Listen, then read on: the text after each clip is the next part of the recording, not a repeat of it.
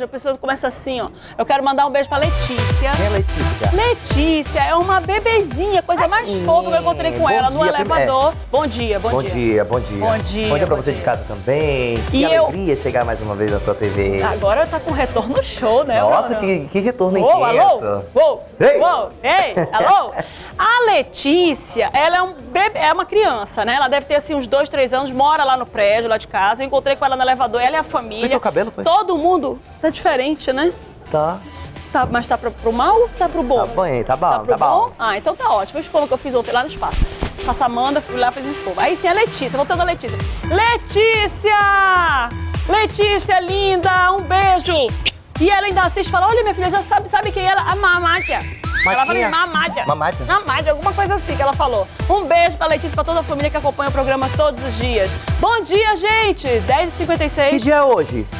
O Kleber do Master fez Que dia é aniversário. hoje? Ah, dia é verdade, 17. pro Kleber. Um beijo, Kleber, nosso. Alô, Alvorada! Ele manda lá no Alvorada, o Klebinho. Alô? É o nosso brother. Olha aí o Kleber, do Master. Cadê ele? que é de aquário, pessoa maravilhosa.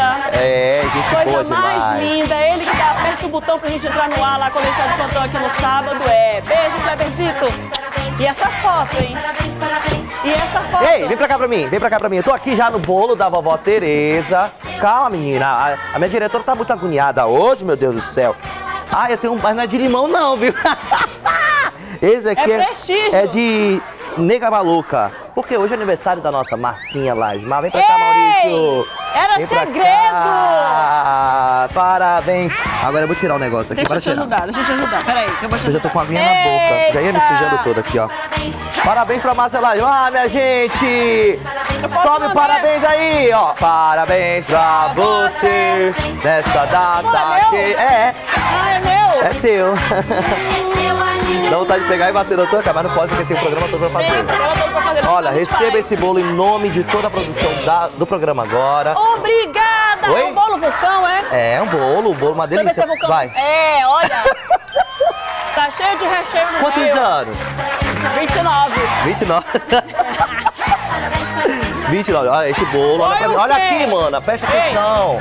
Esse bolo é em homenagem ao seu aniversário. Que você continue sendo essa pessoa Obrigada. talentosa. Todos aqui desejamos a você um feliz aniversário e muitos anos de vida. Obrigada.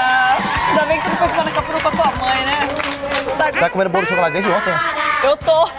Sério? tá comendo. Comemoração começou ontem com amor. Pode morder um pedaço? Morde, vai, é teu. Eu posso morder um pedaço? Morde não, que depois a gente Fica vai comer nojento. café. Eu vou morder um pedaço, eu vou morder um pedaço que era pra eu vou comer um pedaço. Vou morder um pedaço, depois tira só essa parte pra eu poder comer, tá bom? Gente, como é que pode a pessoa fazer isso com o bolo? É meu? Né? Olha, tu fica aí que eu vou cabelo. ali. Parabéns, lá. Marcelo Osmar. Parabéns. pra cá esse negócio, Seu Carlinhos, pra cá. desculpa. Vamos lá. Bolo da vovó Tereza, né? Que trouxe aí esse bolo pra nossa Esse marca pedaço é Lasmar, tá? né? Tô aqui agora. Olha só, a gente tem um bolo aqui que você aí de casa pode ligar pra ganhar no nosso Agora Premiado. Liga no 3307 3950 e não diga alô, diga bolo da vovó Tereza. A primeira casa de bolo caseiro em Manaus. Esse aqui é um bolo pudim. Que delícia! Várias cerejas aqui em cima. O seu Carlinhos já tá querendo, mas hoje ele vai comer só o da Massa Lasmar. Né, né, seu Carlinhos? Ó, o endereço tá na sua tela aqui, ó. Nós, nós temos também aqui, ó, olha só. Temos no Parque das Laranjeiras, lá no, no Centro Comercial Rei do Lar. Tem também ali no Parque 10, na Avenida Grande Otelo. Ou seja, o bolo da Vovó Tereza, meu amigo, tá em todo canto pra você. E o número para encomenda tá aqui na tela, então liga e também liga para agora premiado, hein? 2317-3950, não diga alô, diga bolo da vovó Tereza. A primeira casa de bolo caseiro em Manaus. A gente te espera, porque agora, nesse momento, a nossa aniversariante de hoje já está com o Jornal em Tempo na mão, porque cedinho já está nas bancas, né, Marcinha? Edinho já está nas bancas, são 11 horas em ponto e você que está do outro lado que já, já comprou o seu jornal, já está muito bem informado, está aqui, olha. As notícias de hoje são notícias ali que trazem uma boa notícia para quem é, é, produtor agrícola, né? Para quem é produtor rural. Olha aqui, olha. Vai ter crédito disponibilizado para todos os produtores rurais, para dar aquele up lá no, no negócio da família, para dar aquela melhorada no negócio que sustenta a família inteira. A gente está recebendo aqui essa boa notícia, mas infelizmente não é só de boa notícia, que tem também notícias que são chatas do fim de semana, como nós tivemos acidente de viu? Inclusive acidentes que vitimaram pais e parentes, o pai e o parente de amigos nossos, colegas nossos de trabalho. Infelizmente, é destaque no nosso programa da comunidade que fim de semana imprudente no nosso trânsito e a gente vai trazer esse destaque no nosso programa da comunidade também. Por hora, você está acompanhando aqui no nosso Jornal em Tempo, que tem todas as informações que você precisa para ficar muito bem informado. Lembrando que você também Confere as notícias do seu Jornal em Tempo também na plataforma digital. A Nisa está chamando a atenção para o esporte aqui, ó. Flá bate o Boa Vista e leva a taça a Guanabara. Inclusive tem uma matéria especial do Vanderlei Modesto hoje, né, de um dos jogadores do Flamengo. Você está acompanhando aqui, ó. E a gente vai trazer para você que está do outro lado essa reportagem especial, mas você também fica muito bem informado com o seu jornal que está todos os dias por 50 centavos. Lembrando que você pode também conferir todo o conteúdo do nosso jornal impresso na plataforma digital no www.emtempo.com.br. Você fica muito bem informado também. Tudo que é notícia no Brasil e no mundo, você confere no nosso jornal e na plataforma digital também. Jornal em Tempo, tudo, tudo agora. agora. Vamos trazer os destaques do nosso programa Vamos, da comunidade sim, de hoje, são Bruno? 11 horas e 2 minutinhos. Agora, que fim de semana, hein, Marcela? Semana triste. Triste, triste. Triste. Olha só, gente, a gente já começa o programa da comunidade com os nossos destaques. Dois idosos morrem na noite de sábado, depois aí de serem atropelados por um motorista embriagado. O suspeito foi preso em flagrante e o teste do bafômetro confirmou que ele ingeriu bebida alcoólica. Irresponsabilidade, hein, Márcia? Irresponsabilidade. Ele já teve aí, a gente vai trazer essa informação toda com detalhes. Esse é o indivíduo que você está acompanhando aí, que também acabou ferido nessa, nesse acidente. Ele teve a prisão dele em flagrante convertida em prisão preventiva. É destaque que a gente vai trazer para você que está aí do outro lado acompanhando a gente. E vamos atualizar essas informações. Só que não teve só esse acidente, não. Teve um outro acidente também, uma mulher de 27 anos é, ficou presa nas ferragens de um carro depois que o motorista, que o carro onde ela estava, né, o motorista conduziu conduziu o carro, o veículo que ela estava, acabou atingindo uma parada de ônibus. Foi lá na Avenida Torquato Tapajós. Você está acompanhando aí que fim de semana problemático, viu? Na nossa, no nosso trânsito. Nós vamos trazer para você que está do outro lado que hoje cedo também teve um outro acidente no Boulevard e a gente vai atualizar essas informações para você que está do outro lado. envolvendo o idoso também, viu, Envolvendo também o idoso. Senhor de 70 anos, gente Parece deu que também aqui ainda há pouco no boletim condutora, tempo. né? Exatamente. A condutora também estava embriagada. É impressionante como teima, teima em achar que o álcool e o volante combinam, ou que você tem ah, os seus reflexos todos preservados depois de ter ingerido bebida alcoólica. Não é nada disso, a gente vai mostrar hoje no nosso programa. É destaque aqui também na Zona Sul, a feirante Maria de Fátima Bentes. Ela foi morta a facadas e com um tiro na cabeça depois que três homens armados invadiram a casa onde ela estava com a família. Os bandidos conseguiram fugir e é destaque aqui no programa da comunidade. A gente também vai trazer mulher é executada com cerca de 16 tiros. Ela foi jogada em um conjunto, uma via do conjunto Atílio Andreasa, que fica ali no Japií. O corpo dela foi identificado por condutores que passavam no local e chegaram a chamar o serviço de atendimento móvel, porque percebeu-se que ela havia acabado de ser jogada e ainda se achava que poderiam salvá-la, mas infelizmente ela acabou morrendo no local. Fim de semana sangrento aqui na capital e a semana já começa ruim. Porque olha só, na manhã de hoje o corpo de uma mulher é encontrado atrás de uma UBS na zona norte da capital. A vítima estava despida e com marcas de violência na cabeça. A polícia suspeita também que ela tenha sido estuprada. É destaque que a gente vai trazer junto com a, de, com a deflagração, junto com o destaque da Polícia Civil, que foi a deflagração da Operação Constantinópolis, em bairros da Zona Sul de Manaus. E está cumprindo durante a manhã e a gente vai trazer as informações para você. Mandados de busca e apreensão e mandados de prisão também. Pelo menos três pessoas até o momento foram presas. E a gente vai trazer todo esse destaque no nosso programa da comunidade. São 11 horas e 5 minutos. Você que está aí do outro lado continua ligado com a gente. Chega mais, que o nosso programa está no ar.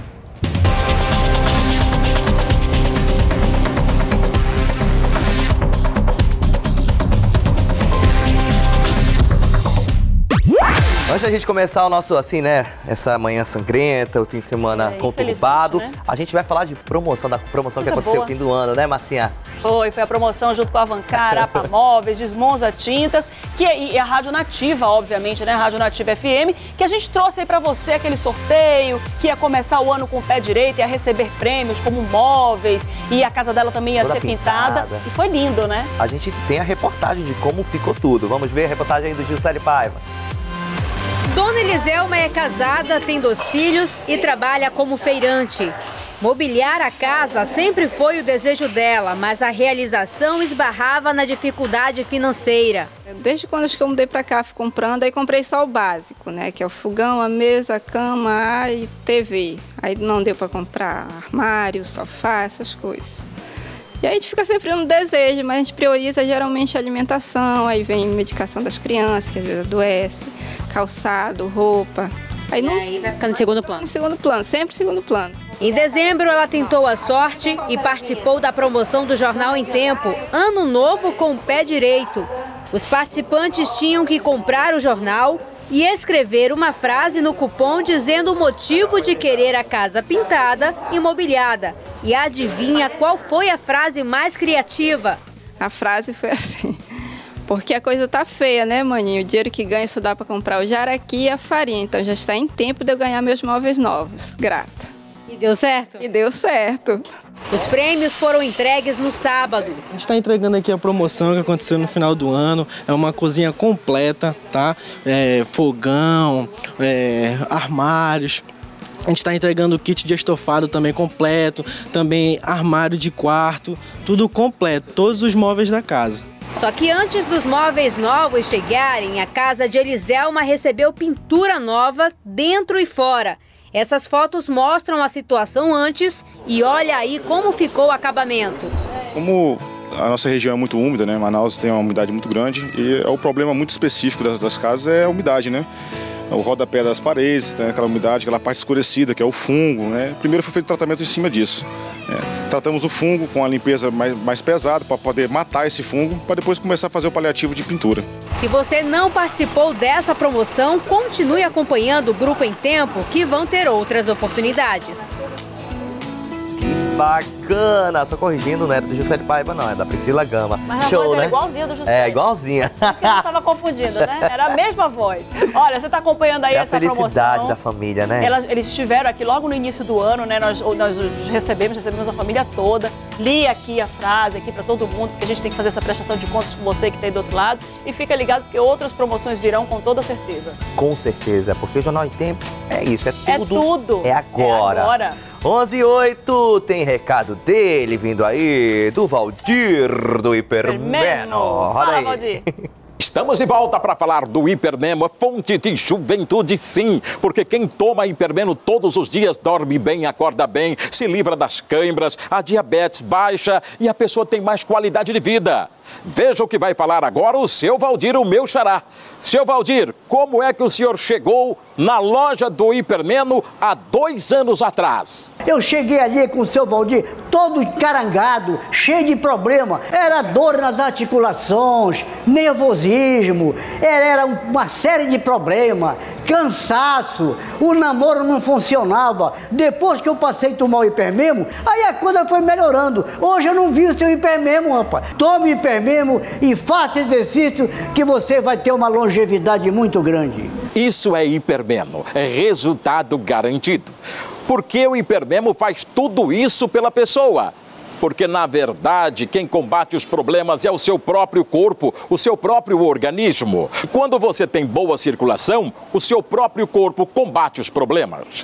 Compre o seu hipermeno agora na promoção. Dois frascos por 100 reais. Ligue agora e receba em casa. 99430 4646. 99430 4646. A loja fica ali, na Floriano Peixoto, número 215, no centro de Manaus. Valdir, pela dica 11 e 10 e agora a gente vai de notícia. Vai de notícia, porque no fim de semana, quatro homens se jogaram no Rio Negro depois de serem abordados por piratas dos rios. Eles tiveram a embarcação roubada e, infelizmente, três deles acabaram morrendo. Três mergulhadores se revezam nos trabalhos. profundidade, uma profundidade para a gente que não oferece dificuldade. É em torno de 10 metros no máximo que está dando e a gente está acostumado a trabalhar com uma profundidade até maior. O terreno também está limpo. O que está dificultando aqui é um local. Eles estão apavorados e não sabem informar direito onde que realmente aconteceu. Segundo a polícia, foi neste ponto que os piratas atacaram o grupo e levaram a embarcação. Os quatro homens tinham ido até a cidade vender salgados. No retorno aqui para a comunidade, por volta das nove e meia da noite, eles foram surpreendidos pelos piratas, que estavam fortemente armados. Eles foram obrigados a pular na água. Um conseguiu nadar e pedir ajuda. Cristiano, Márcio e Jardel estão desaparecidos. Os três não sabiam nadar. Este pastor era responsável pelo grupo, mas não estava na embarcação. O único sobrevivente contou para ele como tudo aconteceu. Dois homens fortemente armados, um com a escopeta e o outro com a, com a automática, assim ele relatou, e pediram para eles pular na água, que eles iam levar o bote. E, e aí os meninos com medo, algum deles que não tinha muita prática em, em nadar, é, não queria pular, eles começaram a agredi-los e assim jogaram eles na água. Os quatro fazem parte de um grupo de dependentes químicos da comunidade Nossa Senhora de Fátima. A venda das merendas é para manter o local. O clima é de tristeza por aqui. As buscas continuam, mas os mergulhadores temem pela ação de peixes carnívoros. O Candiru, né? Que é uma área de Rio Negro, o Candiru ele ataca muito aqui. E aqui é uma área que já se deparou com vários aqui, então com certeza existe essa dificuldade. Pode acontecer deles devorarem, entendeu? O pastor tem esperanças. Coração partido, mas eu tenho. Eu tenho esperança sim. Que os bombeiros encontrem eles no mato, lá, em algum lugar vivo, se Deus quiser tristeza, angústia, dor, porque nesse momento os familiares não sabem onde os entes queridos estão. Já, na realidade, e nesse momento é, já, foram é, já, foram encontrados, na verdade. Corpos, né? é. Infelizmente, os corpos foram encontrados pela equipe dos mergulhadores, né, dos corpos, do Corpo de Bombeiros, nas proximidades ali da comunidade Nossa Senhora de Fátima, no Tarumã. É, eles fizeram as buscas aí durante todo o fim de semana e o Juscelio Pai vai trazer as informações pra gente e depois a gente conversa, viu, Bruno? Porque é uma tragédia, as pessoas passam a vida inteira numa adicção que é doença. É importante que se diga, a gente sempre fala aqui de tráfico de drogas aqui no nosso programa da comunidade. Nós falamos do tráfico de drogas, a adicção, o usuário de entorpecentes é um vício, é uma doença, inclusive tem CID, né, que é o Código Internacional de Doenças, ele já determinado, característica, é uma doença mental e a gente vê essas pessoas que buscam a sua ajuda dentro de um, de um centro de, treina, de, de, tratamento e acabam morrendo nessas circunstâncias. O Juscelio Pai vai trazer para a gente os detalhes, principalmente como é que foram as circunstâncias é, do encontro desses corpos. 11 e 13, na tela, Juscelio. O corpo de Gustavo César de Souza ele foi encontrado ontem de manhã pelos mergulhadores do Corpo de Bombeiros lá nas proximidades da comunidade Nossa Senhora de Fátima, no Tarumã, na zona oeste aqui da capital. Com isso, o Corpo de Bombeiros deu por encerrada as buscas pelos corpos dos três rapazes, já que os três foram encontrados. Além de Gustavo, no sábado, os mergulhadores também já haviam encontrado os corpos de Raimundo Marcelo Alves de Moura e também de Jardel da Silva Ribeiro. Os três rapazes, junto com outro homem que conseguiu escapar, eles foram vítimas na noite da última sexta-feira de ataque de piratas de rio lá no Igarapé do Tarumaçu. Na ocasião, os três homens que morreram, eles foram obrigados a pularem na água e como não sabiam nadar, acabaram morrendo. A polícia também informou que as três vítimas fatais eram missionárias de uma igreja evangélica e faziam um trabalho de resgate de viciados em drogas lá na comunidade comunidade Nossa Senhora de Fátima. A Polícia Civil do Amazonas apura esse assassinato e tenta identificar os criminosos. Juscelio Paiva para o Agora.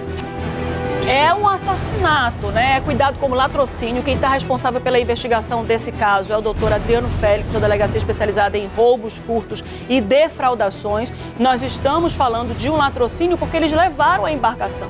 É, não importa o meio como a pessoa foi morta, o que importa é que a pessoa foi morta e ela avisou: olha, eu não sei nadar. Eles gritaram, eles chegaram a discutir com os piratas que não sabiam nadar. E ainda assim eles insistiram e jogaram é, essas pessoas é, de dentro da embarcação no rio. Um deles conseguiu se salvar, mas os outros, infelizmente, eu já caí. Hoje eu sei nadar um pouquinho, já caí no rio é, sem Difícil saber nadar, é um né? pânico. A pessoa fica num pânico. Até pra quem sabe nadar, né? Até para quem sabe nadar é difícil. O nosso rio é muito denso, ele é muito pesado, ele cansa muito. Então, mesmo aquela pessoa que sabe nadar, ou que pelo menos sabe boiar, né? Que se diz que bom, você tem que ter um controle emocional muito grande, porque eles poderiam boiar, mas acontece que eles estavam em pânico. Eles não sabiam nadar. que então, não momento. tem. E minha avó sempre Porque disse. a pessoa não vai saber que vai ser assaltada no meio do rio. No meio do rio. É importante que a pessoa tenha esse cuidado, porque infelizmente isso tem acontecido muito. Nós trouxemos o caso daquela da, da, da turista que foi atacada e foi atacada também por piratas. É importante dizer que os piratas, apesar de atacarem no rio, eles não ficam no rio o tempo todo, eles ficam em comunidades,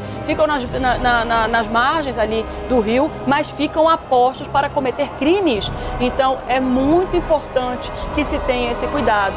Quatro embarcações foram roubadas durante a madrugada no porto de Iranduba e a gente está vendo uma ação muito forte desses piratas, uma ação sem limites. Então a gente é, tem que verificar aí qual é a, a- a- a intenção desses roubos, desses assaltos, desses latrocínios, porque na maioria das vezes esses piratas também têm envolvimento com o tráfico de drogas, são, é, são criminosos que estão fazendo ali o tráfico interestadual de drogas e às vezes internacional, porque tem embarcação que pode vir, tem, tem pirata que vem de outros países, afinal de contas nós temos uma tríplice fronteira aqui cercando o nosso estado do Amazonas, então a gente precisa redobrar esses cuidados. É extremamente importante que nós tenhamos ali uma polícia espe- específica para fazer esse cuidado dos nossos rios. Nós já temos várias especializadas dentro do nosso, da nossa Secretaria de Segurança Pública, que são as, as- as delegacias especialistas em roubos e furtos de veículos, roubos e furtos de defraudações, contra, de violência contra a mulher. E a gente está vendo aí a necessidade, se criando a necessidade de fazer essa, essa delegacia especializada, essa, essa- esse monitoramento especializado nos nossos rios. 11 horas e 17 minutos. 11 e 17. A gente Olha tem na minha só. casa agora, falar A gente rapidinho. pode, bora falar do, na minha casa agora? Vamos? Rapidinho, olha, daqui a pouquinho, você que está aí do outro lado acompanhando o programa da comunidade, o Bruno vai fazer a passagem de bloco, mas a gente tem no nosso quadro Na Minha Casa Agora, com o Emerson Santos, na quarta-feira, que vai levar muitos prêmios das lojas Variedade Salmo 91 para você. E o bairro escolhido na Zona Sul É, foi a Cachoeirinha. Olha, alô Cachoeirinha! Quarta-feira o! Emerson tá aí, hein? Alô, Zona Fiquem Sul! ligados, vocês que estão do outro lado. Olha, daqui a pouco a gente volta, vamos pro intervalo comercial, porque você vai conferir. Dois idosos morreram depois de serem atropelados por uma motorista que estava embriagada. Por um motorista, na verdade, e não tinha habilitação. É daqui a pouco, depois do intervalo. Até já.